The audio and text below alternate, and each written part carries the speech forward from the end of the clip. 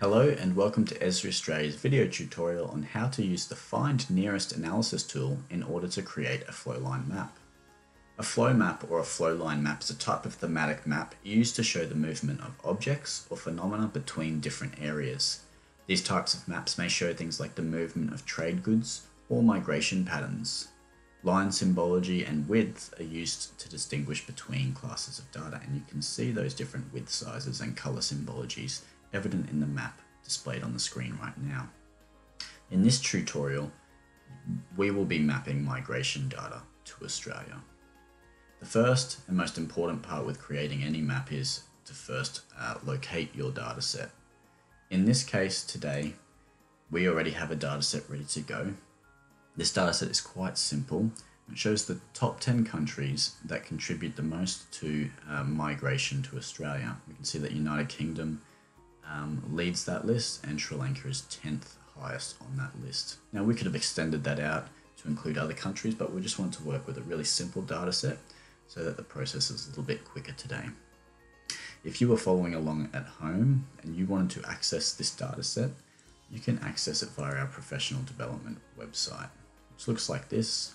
If you scroll down, it'll be under the performing analysis in ArcGIS Online section, um, and it'll have a heading flow line maps. It'll be clearly labeled for you to access too. But right now, we don't have to go through that cleaning process today. We've already saved it as a CSV file and it's on our computer ready to go. So let's head over to ArcGIS Online. So once you've logged into ArcGIS Online, we're going to head over to Content. We're going to add our data sets via the Content window rather than the Mapping window because the Content window can handle larger data sets. So when your Content window loads, you just need to choose a folder that you want to save uh, your new feature layer in. I'm happy with training resources. Then I'm going to click on Add Item and select from your computer. I can browse for the file. I'm just going to drag it in from my second screen.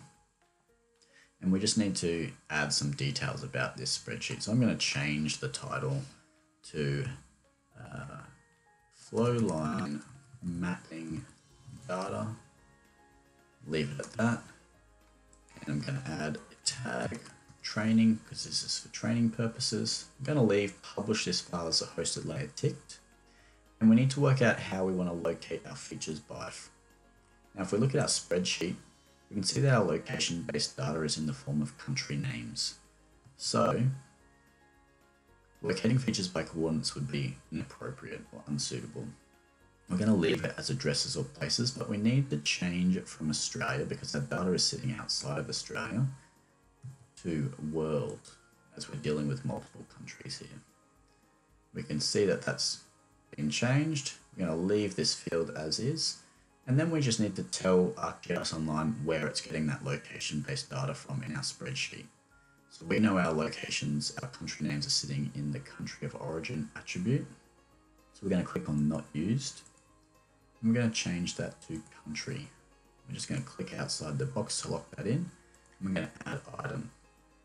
Now, depending on the size of your data set, if you were dealing with uh, 60, 70 countries uh, worth of data um, and multiple years worth of data, then this process might take a little bit longer. But because our data set is so small today with only 10 countries, you can see it's already uh, uploaded and opened the overview page for the item.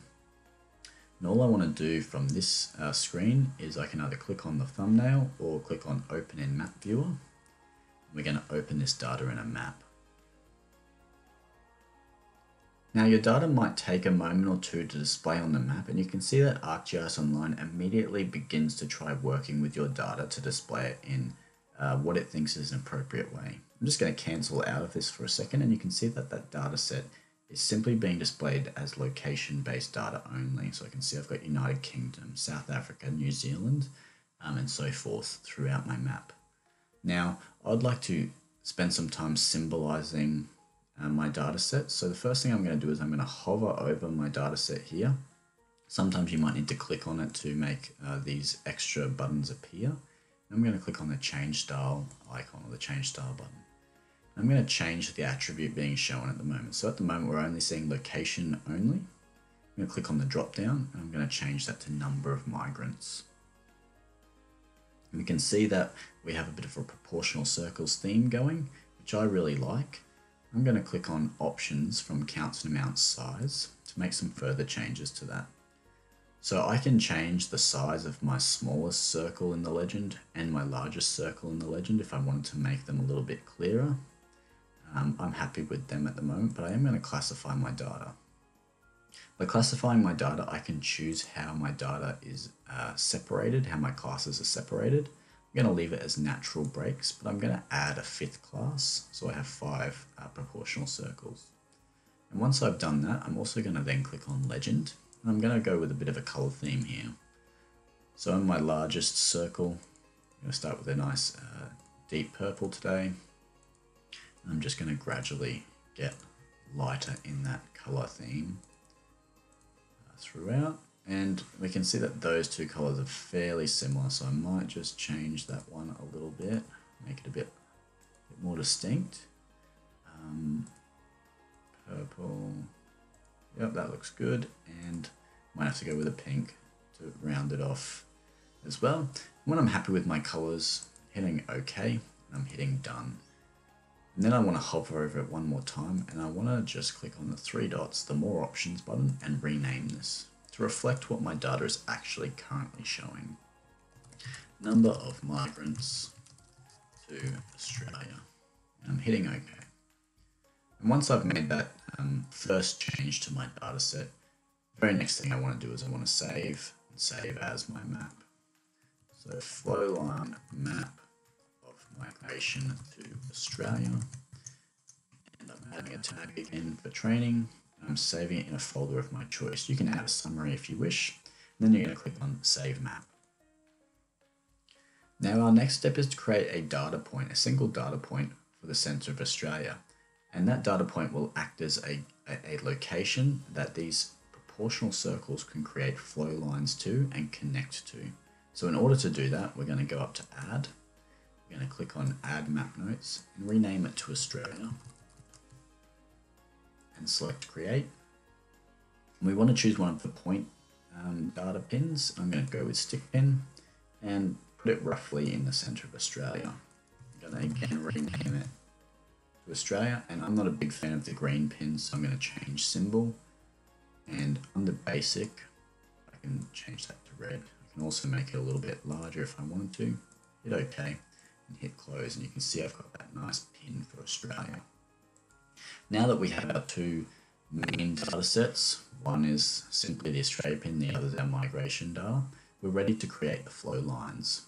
So we're going to head up to analysis and there's about 30 tools, 30 analysis tools in here. We want to head to use proximity and click find nearest. We want to leave step one, specify the starting location as Australia, which is our single point. We want to make sure that's essentially mapping to the number of mig migrants to Australia data, which is this other layer that we created earlier. I'm happy with line distance being the, the unit of measurement, but depending on your data set, you might find that there's a better um, a better measurement tool for you. So I'm going to select line distance. For step four, I want, I'm actually going to uncheck both of these boxes. I don't want to limit the number of nearest locations to one. I want lines to be created for all of my data sets. And I also don't want to limit the search range to 100 kilometers because as we can see, the distance between our pin and the closest country, whether that's Sri Lanka or New Zealand, is, is well beyond that 100 kilometers mark. So I'm going to uncheck that box too. I'm going to rename my result layer name. So it's going to create a new layer for us. Um, flow line, lines and points. We can always rename this later if we're not happy with it. I'm happy to continue saving this in my training resources folder. And I'm going to uncheck current map extent. And that's really important. And then you're going to click run analysis. And depending on the size of your data set, might depend on how long this analysis process takes. Because ours is only uh, essentially 10 lines that will be created, this, this analysis process won't take overly long. However, if you're working with a really large data set, it might take five or six minutes. Um, But really, all you're doing is waiting until this process has been completed. Now, once the analysis has been complete, you'll notice that two extra layers appear on your uh, contents. Now, if I turn these two layers off, we can see that my two original data sets, my number of migrants to Australia and my Australia point itself. If I turn the first one on, we can see that it's simply created a flow lines and points data set, which are the, the points on the map. And I'm not too interested in that, so I'm just actually going to turn that off for now. But I'm going to turn the second one on, and we can see that it's got the words we're looking for, connecting lines in there. If I put those connecting lines on, I can see that our data is beginning to look like a flow line map.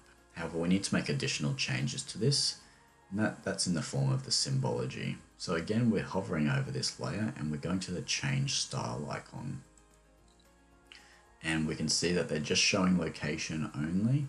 We want to swap that. Well, there's a, quite a lot of layers now. But we want to find the one that says creating a flowline map dataset number of migrants, which is the same data that's being shown in these proportional circles.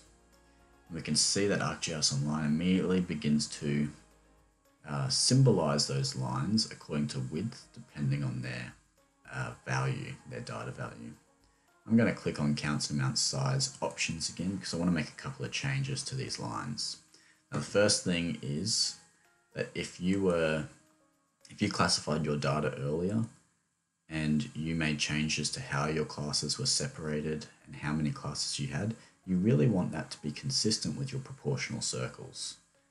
Um, you want the same value of this line to match up with the with the value in this circle and that's something really important if, if students are creating their maps, you know, that, that comes into a conversation about making sure they're creating a sophisticated um, and accurate map too. I am going to make some changes this time, however, to my size, my line sizes. We can see that uh, this line here, it, it's, it's really just too small at the end of the day. So I'm going to bump that up to five. And this line here is really, it's, it's maybe perhaps a little bit too dominating, so I'm going to actually take that down to 15 and just slim it up a bit. And you can experiment with this, you can go back in, keep making changes. I might even go with 13 for now. And I want to also make these lines color thematic too, to go with the consistency of my map. So again, I'm clicking on each of these line symbols. I'm working my way through and you'll see that there's a slight disparity in color, but that's because um, our circles are slightly transparent. We might go back in a second and, and change that transparency to rectify that. I'm just going to work through my layers and I'm working from memory here. So hopefully I get it right. And our last one was pink, I believe. To hit OK there. I'm going to hit OK to lock those changes in and done. And if I wanted to make these circles or, or, lose the transparency in those circles, I just again, I hover over, select the more options button. Where it says transparency, I can drag it in and make those changes. You can see I've actually probably got some of these colors wrong. So if I got those colors wrong, that's all right. I can go back in, click on options, and what ones seem to be wrong. The deepest color needs to go a little bit darker. You can see that's consistent and my next color needs to go darker. And we can see that those changes are now a lot more accurate and pleasing to the eye. Now we're going to hit save just to make sure that we've saved that process. We've updated our map so that if we lost internet connection, we're, we're still good. We're going to head over to Legend.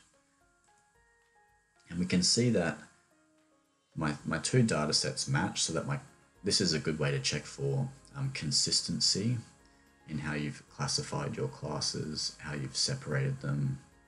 You can see that my symbology for the largest line, 721,000 to 980,000, is matching what my proportional circles are also showing. So we see that data comes through really nicely and you've essentially created a flow line map. And that's all there is to it. I hope that you found this, this resource useful and you can check out other professional development resources on Esri Australia's education professional development website. Thank you.